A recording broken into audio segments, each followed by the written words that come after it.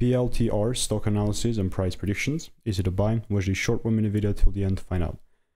And looking at Palantir Technologies, like just for context, I'm bullish, but all I'm using is a strategy that's previously delivered thousands of correct predictions and I've documented everything. With Palantir, the main way that I'm approaching this market is I genuinely want to see a double break. Genuinely, that's the that's the whole kind of premise behind it. Because previously, like if you didn't already know, I've been bullish six times in a row, and I've been I've definitely documented everything. You know, I, I have all the links.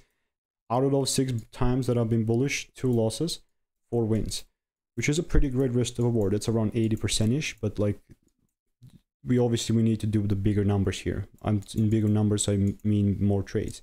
But if the rules are not met, I'm not going to do so, you know? So the only case that I'm really going to continue to double down on this bullish market is going to be if I start seeing level breaks above 31.02 and that. So I'll keep you updated. If you want to learn the strategy that's previously delivered all this and our reviews are five stars for free, check the first link in the description. See you in the next one.